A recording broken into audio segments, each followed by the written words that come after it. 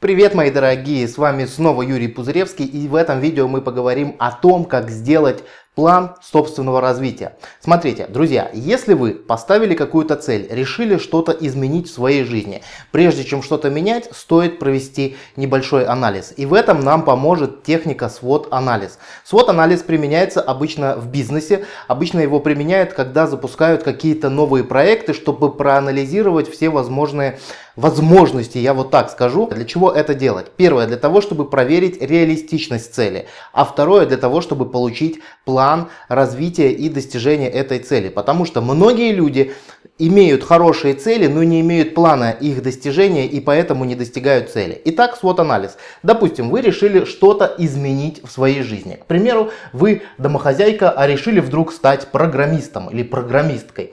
И вам нужно провести некую ревизию своей личности для того, чтобы понять, насколько вообще вы можете достичь эту цель и иметь, я уже повторюсь во второй раз, иметь план действий. Что нужно делать? SWOT анализ это, SWOT это естественно аббревиатура с английского языка. Что нужно сделать? Берете лист бумаги, разделяете его на 4 ровных части. В одной части, в левом верхнем углу, пишите сильные стороны, в правом верхнем углу слабые стороны, в левом нижнем углу возможности, в правом нижнем углу угрозы. Давайте теперь поподробнее разберемся с этими квадрантами. Что здесь важно? Здесь на самом деле важно осознать одну вещь, что те вещи, которые находятся в верхних квадрантах, они являются внутренними факторами, то есть теми факторами, на которые вы можете непосредственно повлиять. Это то, на что вы можете оказывать свое воздействие, меняя себя.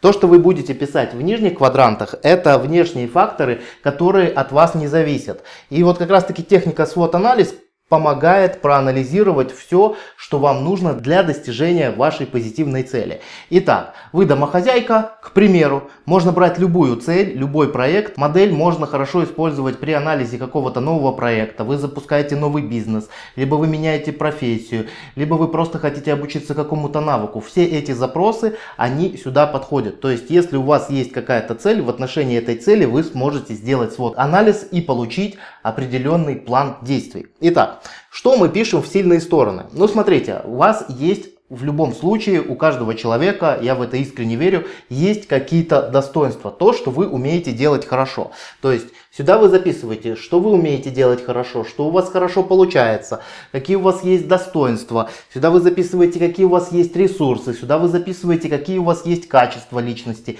и так далее. Возможно, у вас есть какие-то навыки полезные, например, навык эффективной коммуникации, которому я обучаю на курсе NLP практик и так далее и тому подобное. Дальше переходим во второй квадрант, он называется слабые стороны. И он тоже касается лично вас. Какие у вас есть слабости, какие у вас есть слабые стороны.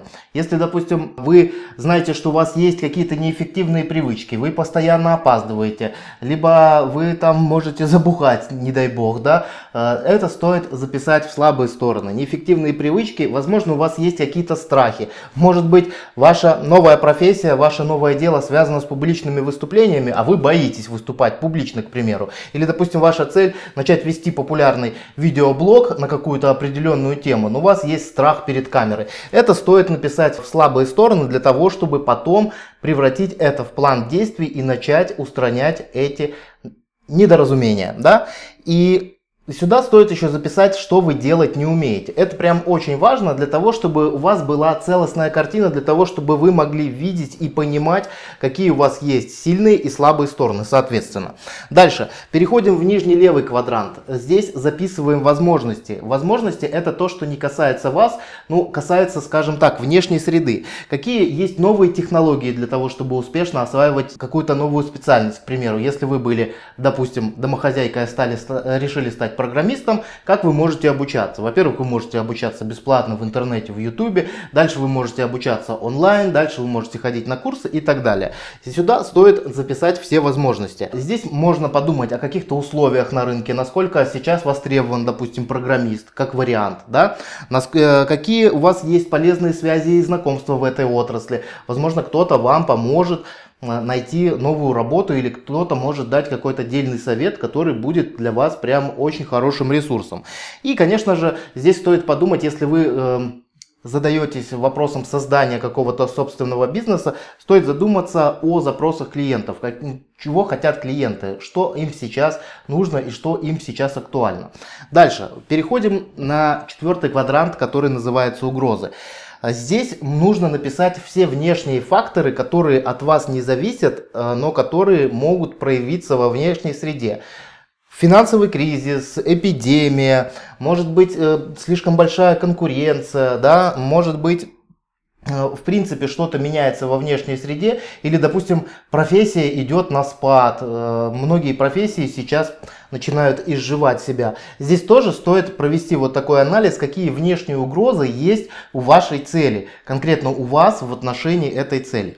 И когда вы провели такой свод анализ, у вас уже на руках картина, что вы можете делать для того, чтобы достигать этой цели. Но, опять же, как результат, если вы провели свод-анализ и поняли, что на, на данный момент в вашей текущей реальности это нереалистично, это тоже хороший результат. Если вы вдруг провели свод-анализ и отказались от своей цели, вы сэкономили себе кучу времени и не делали кучу хаотичных движений для того, чтобы достигать то, что для, для вас на самом деле, возможно, не очень важно и не очень достижимо. Но если вы все равно будете достигать своей цели, следующий шаг, когда вы проделали свод-анализ, когда вы обратили внимание на свои слабые стороны, обратили внимание на угрозы, здесь очень важно поработать с вот этой вот частью. Здесь, по большому счету, вот это будет ваш список вашего личностного развития. На самом деле, если вы здесь нашли, что у вас есть какие-то страхи, есть какие-то неэффективные привычки, здесь вы переходите уже к реализации плана.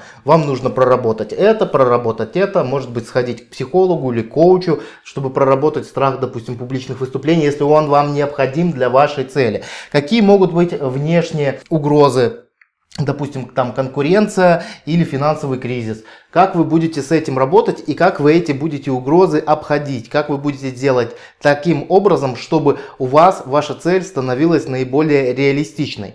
Дорогие друзья, вот такая простая методика, ее очень часто применяют в бизнесе, ее очень часто применяют в коучинге. Я напомню, что коучинг, он обязательно подразумевает, что у человека есть какая-то цель. И если у вас есть цель, проведите свод-анализ своей личности и поймите, что вам нужно сделать для достижения этой цели. И вторым шагом, конечно же, составляйте план реализации в обход слабых сторон и в обход угроз. И тогда у вас обязательно все получится, я в вас верю. И, друзья, напишите, пожалуйста, сейчас в комментарии, если вы знали технику SWOT-анализ, то как часто вы ей пользовались именно в применении к себе, к своей личности. А если вы с этой техникой познакомились прямо сейчас, то, пожалуйста, оставьте это, поставьте это видео на паузу, потратьте свои 10-15 минут для того, чтобы проанализировать себя. Поверьте мне, эти 10-15 минут потом вам окупятся в три дорого на самом деле. Поэтому напишите, что у вас получилось, если вы проделывали эту технику еще и в первый раз.